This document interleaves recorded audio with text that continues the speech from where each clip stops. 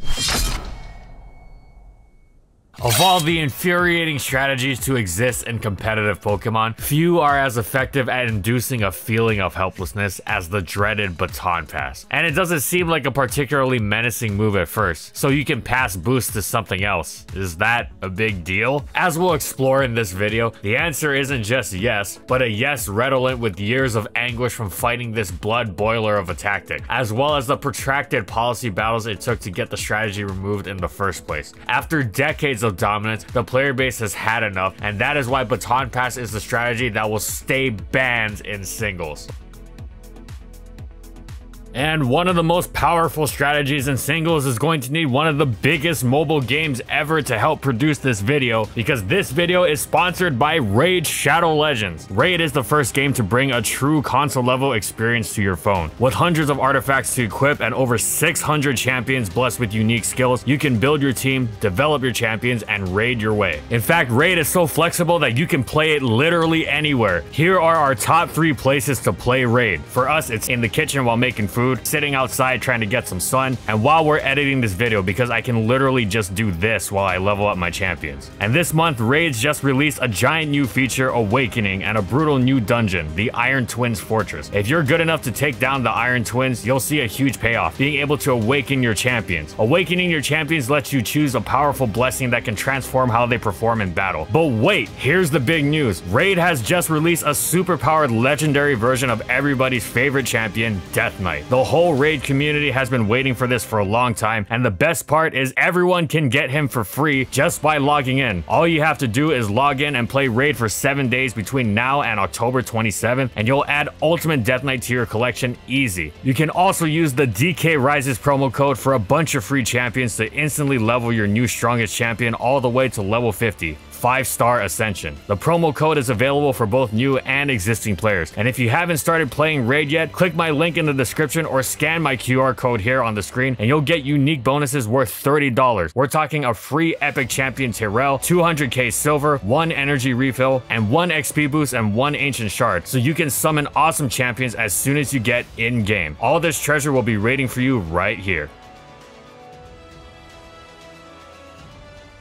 Baton Pass wasn't always the automatic ban it is nowadays. In GSC, it was for a long time, looked back upon as a positively mild introduction for such a malignant move compared to what it would become. A tame origin for a strategy that grew more oppressive and dangerous over time. There was many reasons BP was at its least effective in its debut generation. Several key features of GSC naturally made its life difficult, such as phasing moves being everywhere to deal with Snorlax, and there being no abilities nor taunt with which such phasing moves could be blocked blocked. One couldn't even pack their own phasing move to get the first phase off. Thanks to GSC mechanics, if two Pokemon attempted to phase each other at the same time, the faster one will fail. Furthermore, GSC's maxed out stats across the board, as opposed to the split EV system of later generations, meant that even if a pass was pulled off successfully, there were still many Pokemon that could take a hit. However, even in this neutered guise relative to more modern generations, Baton Pass was still a terrifying, potentially overwhelming threat that nobody dared take lightly in the rare event they faced it, lest they suffer a brutal, humiliating loss. And It is precisely this humiliation factor that leads us to, before we go any further, explain the virulent hatred of BP that's been around for decades. The fundamentals behind its cross-generation bans. Sure, anything can potentially embarrass you in a battle, from a seemingly unbreakable stall team to a devastating setup sweeper. However, those strategies aren't considered quote-unquote cheap by anyone good, because with a good team and good play, you can reasonably handle them. The reason good players have abhorred BP for so long is because when you face BP, it doesn't matter how good you are. BP removes skill from the equation. In many cases, the choices on both sides are very clear and obvious. When facing BP, either your team can handle it or it can't. This is antithetical to how Pokemon is generally played. Sure, your team might be weak to something like Tyranitar, but you can play around it. There is very little quote unquote playing around a BP team since if the match matchup is advantageous, the BP team doesn't care what you do. The difference between this and being weak to Tyranitar is night and day. Furthermore, BP isn't used by anyone who is looking to outplay their opponent, because again, BP means it doesn't matter how good you are. Even if your opponent is worse than you, but they have the tools to handle BP, then there's not much you're going to do about it. This brings us to why BP is considered cheap. It's a largely all or nothing strategy that aims to remove skill from the game and prays that the opponent doesn't have the tools to handle it. And well, why wouldn't you have the tools to handle it, you might wonder. This has been a furious source of debate for almost as long as BP has existed. Indeed, in GSC, it is quite simple to be well equipped for BP teams without going out of your way to handle them. See the aforementioned plethora of phasing moves you're already going to be packing. However, in later generations, there are far, far more threats to cover, and doing so is already difficult enough. Certain types of teams will naturally destroy BP, yes, but other types of teams aren't going to be able to handle them without severely compromising themselves against the rest of the metagame. Of course, the move baton pass isn't inherently quote unquote cheap in the same way that other clause moves such as double team or sheer cold are. There are some so-called honest forms of baton pass out there. Cheap baton pass involves Pokemon who are fully, entirely dedicated to passing boosts to others in attempts to win entire games on the spot. They aren't good standalone pokes. Multiple passers often exacerbate this. Quote unquote honest BP comes in the form of good Pokemon who can BP, but number one, remain good Pokemon on their own, and number two, don't pass game ending boosts. In GSC context, this most notably includes Growth Pass Vaporeon, who can also pass substitutes most notably. More rarely, Jolteon can pull off a similar strategy. The most prominent form of cheap GSC BP came in the form of Pokemon like Smeargle, Jolteon, and Scizor passing speed, and Scizor potentially passing attack to monstrous physical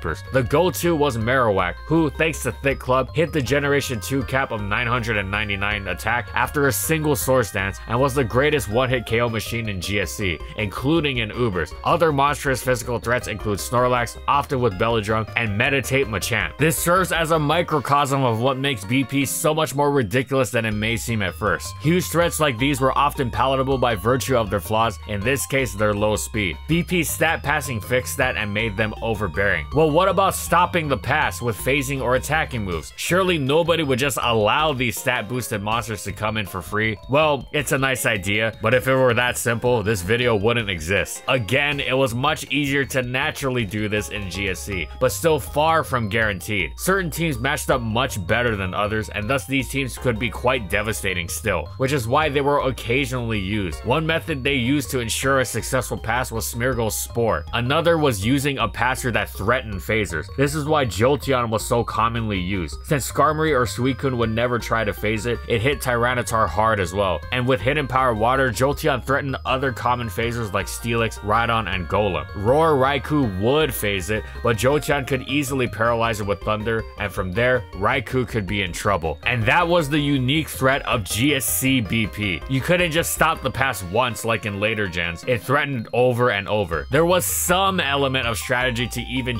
BP in GSC, which is what made it more bearable. In addition to a prolonged Jolteon assault, some teams also relied on Drumlax exploding Skarmory to enable Scizor's passing. However, the strategy was still considered cheap because it was incredibly fish heavy in the matchup department. Plus, the same maxed out bulk that let many Pokemon take hits even from BP boosted threats went both ways. The BP boosted threats packed that same bulk and it wasn't always enough to live the hit if you weren't KOing them back afterwards. For example, in Advance, full health Marowak wouldn't avoid a 2-hit KO from Zapdos' hidden power, but in GSC, it did so every time. Regardless, Agility Pass was certainly palatable, which is why no tiering action was taken against it. However, there was another form of cheap BP in GSC, and this was considered problematic from a tiering standpoint. Trap Pass. Trapping an opponent with Umbreon's Mean Look or Smeargle's Spiderweb before baton passing out was as potentially game-ending as it got. It could let Snorlax effortlessly accrue 6 curses and win on the spot. Umbreon had some use in this role on so-called regular teams, since it could still function as an effective piece of their defensive core, but it also fit on the cheap BP teams as well, since it was potentially the best enabler they could have. It could also cheese phasing attempts with Confuse Ray. You could throw Skarmory into it, and with bad confusion luck, Umbreon would pass to an electric type, which would collect the free KO and leave Umbreon free for its trap pass later. What made this even worse was that you didn't know what Umbreon was running when it came in, and unlike most other other Pokemon whose sets you couldn't immediately reasonably guess, especially with the lack of team preview, this guesswork had too high of a chance to instantly end the game, which is generally a good sign of something being uncompetitive. Smeargle and its endless move pool, even with the sleep trap ban that prevented it from running Spore and Spiderweb on the same set, was similarly unpredictable and dangerous. This is what recently led the GSC player base to deem that strategy uncompetitive, since there was no reasonable way to know what sets the Pokemon ran, and their reward for doing so was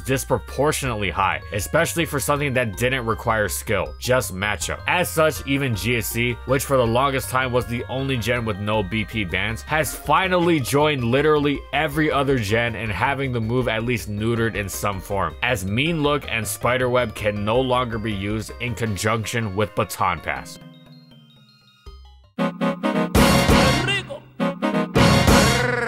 Baton Pass became more multifaceted and thus more threatening in advance. Whereas GSC BP generally still had some sort of play element to it, this was the generation where BP really established itself as the skill-destroying, game-dominating terror that would characterize it in every subsequent generation as well. With higher base power moves, more boosting options, and the lack of maxed out bulk EVs across the board, the Pokemon being passed to were more threatening. Sure, they didn't have maxed out bulk themselves, but with new boosting options like Calm Mind bolstering their defenses, they didn't need it as much. Furthermore, it was easier to set up extended BP chains now. Number one, phasing moves were not as mandatory or popular as they had been before, and number two, tactics like Ingrain could stifle Roar and Whirlwind, while Soundproof blocked Roar and Perish Song. Indeed, the addition of abilities was critical for BP. It wasn't just soundproof either. Ninjask's speed boost meant it could grab those all-important speed boosts without needing to use agility and to risk getting hit. It could simply substitute and protect repeatedly. With another huge addition, Pinch Berries, Ninjask can even sub down to get an attack boost in conjunction with multiple speed boosts without ever risking getting hit. Finally, BP was bolstered by the wider distribution of the move. The aforementioned Ninjask was certainly a notable one, but the most significant additions were Celebi and Zapdos. Celebi had descended to OU from its previous place in Ubers, whereas Pokemon XD Gale of Darkness had bestowed the move upon Zapdos. We'll focus first on the cases of so-called quote-unquote honest BP in advance, which most prominently featured these Pokemon. The first instance of honest BP came in the form of so-called dry passing, which meant using Baton Pass without any boost or even a substitute. Literally just using Baton Pass in the same way you would use U-turn. This was most commonly seen on Zapdos and Jolteon, as they were the most directly offensively dangerous of the bunch, thanks to their combination of great speed and ferocious STAB Thunderbolt. Thus, they were most able to exploit the defensive switches they forced by scouting them. Another underrated application of this technique was that one couldn't double switch against them. For instance, if one had Zapdos against Tyranitar and the Zapdos didn't have Baton Pass, then the Tyranitar user, knowing Zapdos would switch out, could switch itself to get a leg up on the Tyranitar answer coming in. However, you couldn't do this against Zapdos packing Baton Pass, because if you switched, the Zapdos user would know before choosing their next Pokemon, and could thus act accordingly. Jolteon also had another benefit for Baton Pass, as it allowed it to escape Dugtrio's arena trap in early game scenarios where Dugtrio was at full health and thus out of KO range for Jolteon's hidden power. Of course, though Zapdos and Jolteon were the most common dry passers, Celebi also used it to great effect, and so did the occasional offensive Vaporeon, one of its biggest advantages over fellow offensive water types. In a similar vein, all these same pokes could sub pass effectively, potentially choosing partners which could maintain the sub on a switch in, and thus making them infinitely more threatening. Celebi and Vaporeon's 101 HP substitutes meant that substitutes wouldn't break in the face of Blissey's Seismic Toss, which was incredible to safely get a partner like Tyranitar or Dugtrio in against it safely, while Zapdos and Jolteon used their and their teammates' typing to play off resist, such as safely passing to a Metagross against a Snorlax or Regice switch, something Vaporeon excelled at as well. The other common honest form of passing was Celebi stat passing with either Calm Mind or Swords Dance, both of which it excelled at. SD Pass was a bit more specific, since it was only really usable on Magneton physical offense teams, but the potential rewards were huge. Little was more devastating than sending plus 2 attack to Agility Metagross. Meanwhile, Calm Mind Pass had all sorts of applications, as in addition to the increased offensive threat of its recipients, the greater resilience in the face of special attacks was much appreciated as well. For instance, a Calm Mind Pass Tyranitar was able to devour Hydro Pumps that were otherwise doused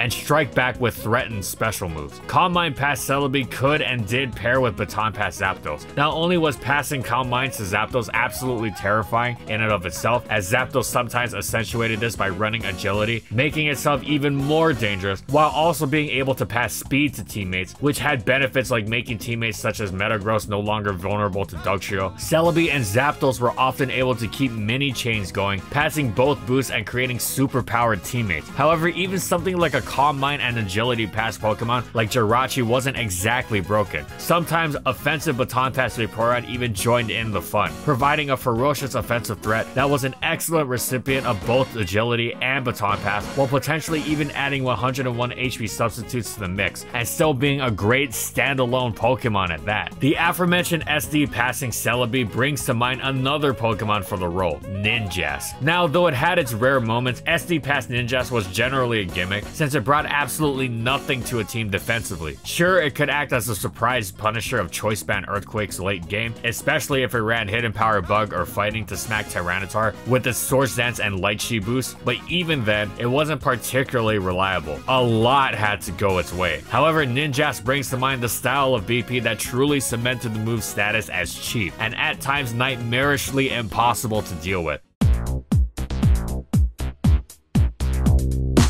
The full chain, which refers to a team of six Baton Pass users, five of them committing to a boost repeatedly and passing the boost between each other until they can pass to Zapdos and Medicham, who in their super boosted state will easily win the game. Zapdos and Medicham also pack Baton boost themselves, so they can easily pass back to one of their teammates to accrue more boosts if needed. We cover this in lengthy detail in our Ninjask video, but in summary, full chains require speed boost. This allows them to get up substitute, boost their defenses, and and BP to a counter regardless of what the opponent has on the field. For example, if the opponent has a Heracross out against Vaporeon, boost defense. If the opponent switches to Zapdos, Baton Pass to Calm Mind Celebi. Rinse and repeat as the opponent flails helplessly, eventually not even being able to win with a crit since it will just thud against a substitute. In order to safely sub boost and pass in front of whatever your opponent brings in, you had to be faster, and it was incredibly easy to supply all the speed boosts in the world with Ninjask. What about anti-BP methods? Well, those helped, but certainly weren't guaranteed. Ingrained Smeargle anchored full chains, literally, and blocked Roar and Whirlwind's phasing effect. Ingrain's healing also allowed for the creation of more substitutes. Mr. Mime's Soundproof also blocked Roar, which most notably forced Skarmory to run Whirlwind, which meant it couldn't run Drill Peck thanks to the two egg moves incompatibility. And thus it had to rely on the inferior hidden power flying if it wanted to safely phase Mime. Soundproof came with the additional benefit of completely stuffing Celebi's Perish Song. Even something like Taunt didn't help much thanks to the move's one turn duration in advance. Full chains were established as the ultimate cheap shot in advance. They were on the rarer side initially, as when advance was the current generation, the battling community was smaller, and there was a greater emphasis on skill and even honor. If you used BP, you were basically admitting you couldn't win by playing better, and needed to rely on facing an opponent whose team couldn't handle baton pass, which wasn't exactly quote unquote honorable, especially with how limited the options to stop BP were. Now, this didn't stop BP from being used at all, but the players who chose to run it were few and far between. So the strategy didn't exactly take over the metagame, at first anyway. And full chains weren't the only kinds of cheap baton pass in advance either. Belly Drum Salac Berry Pass Smeargle was a different kind of extreme. Thanks to Spore, you weren't necessarily safe even if you had a phaser. Plus, even if you had two, then Smeargle would simply pass to Cradily, whose suction cups blocked all phasing. Yeah, that's right, Drum Pass Smeargle allowed Cradily to sweep entire OU teams. Refer to our Cradily video for more information. More commonly though, Smeargle passed the Choice Band Metagross, whose Meteor Mash destroyed everything in the game. The final form of cheap BP in Advance was Trap Pass. Umbreon returned and its newfound access to Taunt made it incredibly dangerous. If it successfully got the Trap Pass off, that was likely game over then and there. It passed the Taunt Dragon Dance Tyranitar or Calm Mind Suicune or Curse Snorlax, who would each boost to a plus 6 and that be that. However, Umbreon was incredibly difficult to fit on teams, so it was rare, but it killed Stall. Those teams feared nothing more.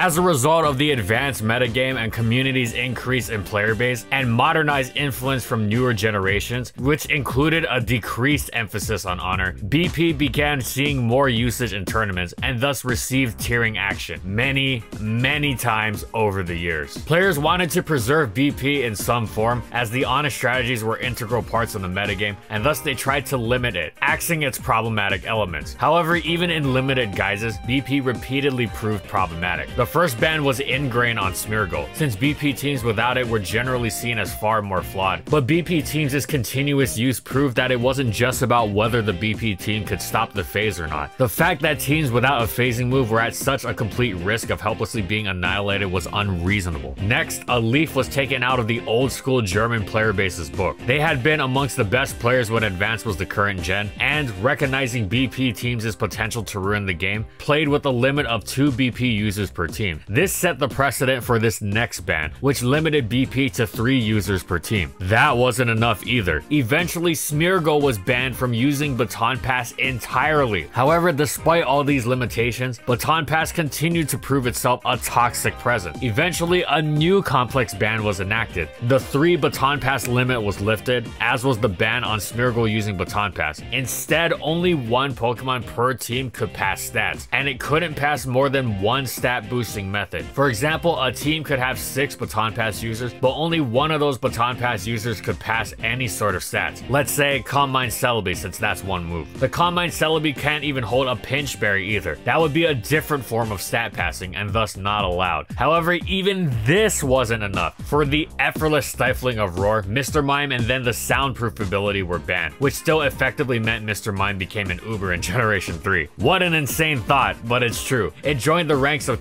Cacturne and even Cacnea in that regard. So in conclusion, after years and years of wreaking destruction, Baton Pass has finally been removed of all its toxic elements. It has taken with it several unfortunate pieces of collateral, most notably teams that use both Agility Baton Pass Zapdos and Calm Mind Baton Pass Celebi. But the player base generally agrees that this was a necessary evil. Gen 3 was, in all likelihood, the most chaotic generation as far as Baton Pass goes, simply because the player base wanted to preserve its positive elements. Elements, but it kept proving itself broken even after being limited a million times. Baton Pass also featured to obscene effect in Generation 3 Ubers. Phasing moves weren't that common, and even those few that did were stifled by Smeargle's ingrained. The negative effect that Smeargle, Ninjask, Vaporeon, and friends had on the tier, super boosting the most powerful Pokemon in Ubers, was as unstoppable a strategy as possible. As a result, Baton Pass was actually limited in Gen 3 Ubers too, as they may only run one Baton Pass Pokemon per team.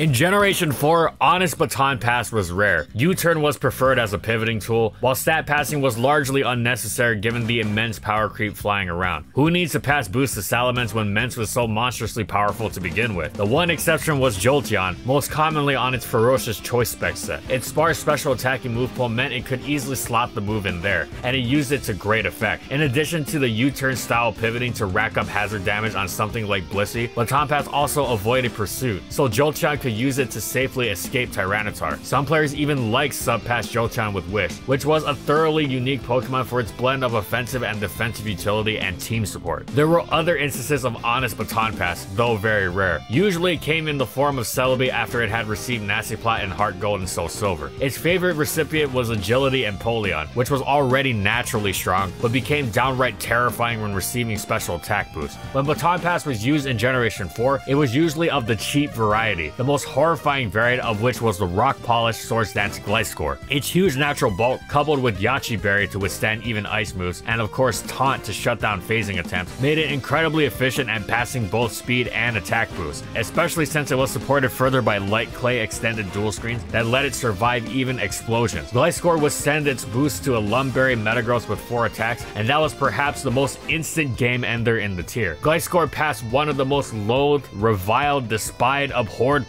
playstyles in the tier. For a long time, nothing would get you more ridiculed than using this strategy. It was hardly even a dice roll either. A huge part of the problem, as has been true of problematic forms of BP throughout the ages, was that it was too reliable, and as players explored it more, they optimized it to ridiculous levels. Eventually, Gliscor Pass even featured Gligar alongside it, as a second way of passing attack and speed boost to another sweeper, should the first try fail. There was no method of quote-unquote outplaying the strategy. Everyone everyone who realized they were facing it exhausted every possible option before realizing they were going to be bulldozed with nothing they could do about it. To make matters worse, the screen setter on Gliscor Pass team was Azelf, which didn't exactly give away what style of team you were facing, even after it used screen. Full chains were also ridiculous and saw a great deal of tournament success, to the chagrin of many. For a long time, the discourse around them was muddled and confusing. It felt so wrong to ban or limit Baton Pass, which was the so-called outside playstyle that only existed to disrupt the stability of common teams, and players would regularly cite examples where the strategy didn't work, completely missing the point of how bad Baton Pass was for the game, how it forced matchup reliance instead of player interaction. There was even controversy over what competitive Pokemon quote-unquote should be. Generally, it was agreed that emphasizing the competitive aspects of a game played competitively was most important, though this still came as a shock to a significant portion of the player base. As full chains were optimized over time, they too began to take a more prominent, oppressive place in the meta. Players were furious as they were regularly unable to stop chains featuring low tier Pokemon like Electrode and Hypno from super boosting repeatedly until Togekiss was ready to come in and win. It took an absurd amount of time and effort for tiering actions to be taken, but eventually a ban was enacted that successfully targeted both Gliscor Pass and full chains. Teams were limited to one Baton Pass user per team, and that Baton Passer couldn't pass both speed and another stat.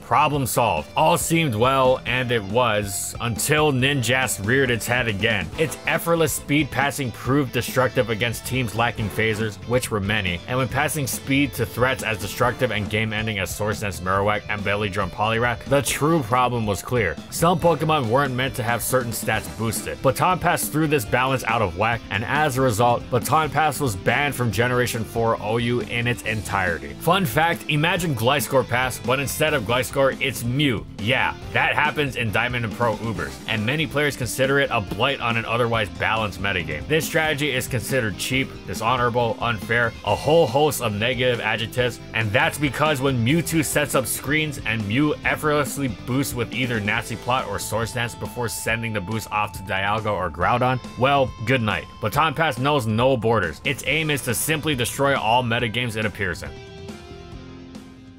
Generation 5 came around and full chains were terrifying again, and Team Preview did very little to help. It's not like you didn't instantly know you were facing Baton Pass most of the time in previous gens by the sight of a Ninjask lead. Also, forget phasing because the new endgame sweeping recipient on such squads was Magic Bounce Espeon, whose super boosted stored power performed astonishing feats like cleanly one-hit KOing specially defensive Jirachi throughout the quadruple resist. Additionally, there was a new form of quick auto-win pass around, Shell Smash, passed by Gorebyss and a Huntail to threats like Nidoking to obscene destructive effect. In most cases, Baton Pass was equated with these cheesy game-ruining strategies. Just like in Generation 4, Power Creep ensured you didn't have to pass boost for your offensive threats to become dangerous. The likes of Terrakion and Latios were instant KO machines already. However, there was one common form of honest BP around, and it wasn't even to pass any boost. Especially defensive Celebi was a metagame staple to withstand a million different things, mainly rain. Its initial set used Perish Song to stifle Calm Mind Reuniclus, and it used U-turn alongside the move. The strategy was that Perish Song would force the opponent to switch, and U-turn would scout that switch effectively. Eventually, with Reuniclus falling out of favor, Celebi stopped needing to run Perish Song and began running Baton Pass as its switch move instead. It couldn't do this before as otherwise it Baton Pass its own Perish Song count to its teammate switching in. However, now it can run Baton Pass to safely escape Choice Band Tyranitar's devastating pursuit, which was critical given how many teams relied on Choice Band Tyranitar to remove Celebi for the benefit of offensive Pokemon like Keldeo, Landorus Incarnate, and Breloom. Eventually, Rain teams using Celebi realized that if it was going to be using Baton Pass anyway, they may as well see if it could pass Boost. And indeed, Nasty Plot Celebi passing to Agility Thundurus-Therian or Scarf Keldeo was devastating. It completely turned the tables on teams that expected Celebi to be a passive blob and thus tried to take advantage of it with Ferrothorn or Forretress. If that happened, Celebi would boost, pass, and the game was probably over. After the strategy became popular, Celebi was treated with a lot more respect when it appeared on Rain Team. There were other rare instances of honest BP, mostly Celebi, Gliscor, and even Mienshao capitalizing on forced switches to set up and pass substitutes. Once or twice, there were even sightings of Sun teams using an incredibly gimmicky yet potentially absurdly dangerous strategy. Swords Dance Sawsbuck baton passing its boost to Scarf Darmanitan, which was as hilarious as it was overkill. However, none of these strategies really occupied true places in the metagame, especially not the Sawsbuck example. Even the more consistent ones, the sub passers, were rare offbeat strategies. Once again, it took a lot of time and haggling to take any sort of action against the negative aspects of BP. Eventually, the ban of limiting teams to one baton pass user, which couldn't pass both speed and another stat, was enacted. In fact, it was implemented years before Diamond and Pearls was. We're just going in generational order. Anyway, Smash Pass was killed, full chains were killed, and Baton Pass existing in this new, neuter form solved the problem for the move's toxicity for quite a bit, until players realized that this move still had many dangerous applications that remained legal. Mew became the Baton Passer of choice, as it would do absurd things like pass defense boost to Calm Mind Reuniclus to create the most unbreakable Pokemon ever, or pass multiple attack boosts to Rock Polish Metagross a la DPP. Enough was enough, and Baton Pass was nixed entirely. This was a huge blow to Celebi's place in the metagame, unfortunately, as a big part of what had made it so solid was how it could reliably escape Tyranitar. And finally, once again, Baton Pass featured to heavily negative effect in Ubers. Smash Pass was the most famously controversial and reviled, as Smeargle spored, Shell Smash, and Baton Pass to instant game-ending effect with obscene efficiency. Most teams without a Lum Berry Tyranitar were immensely vulnerable to Smeargle's antics.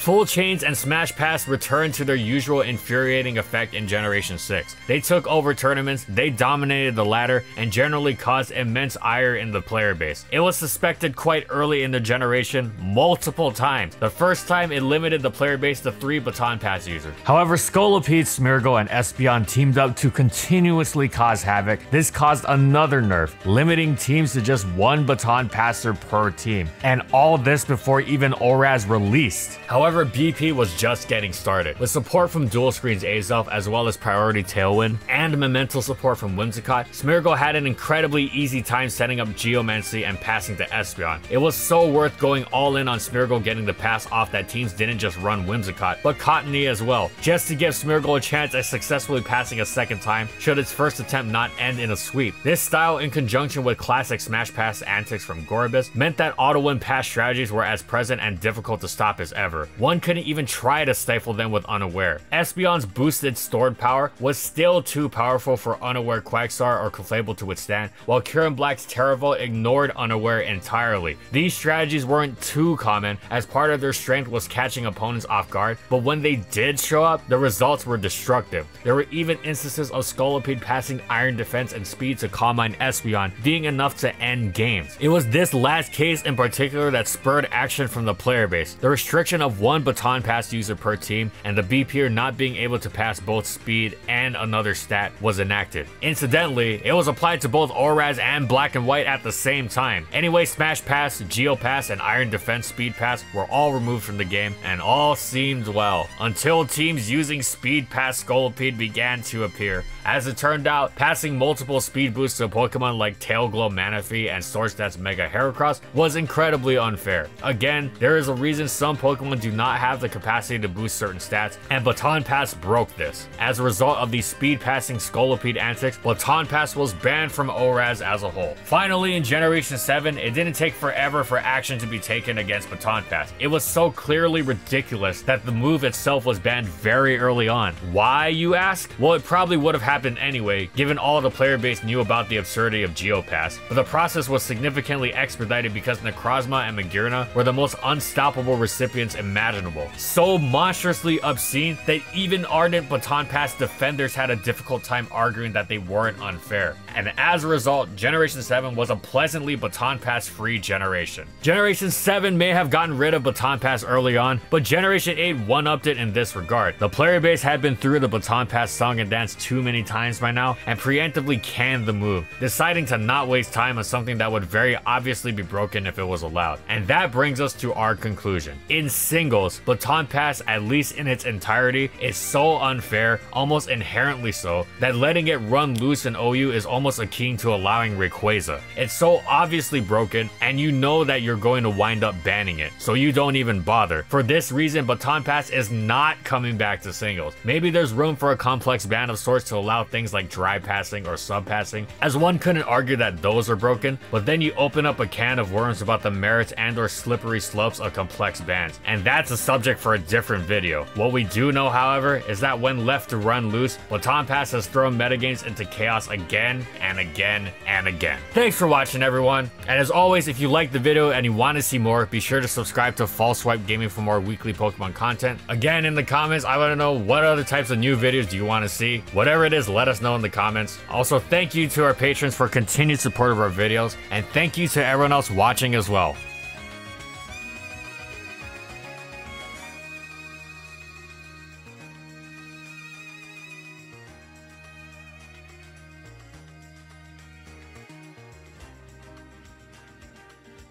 and follow my crew on these social media platforms. And that's all I got. See you next time, everyone.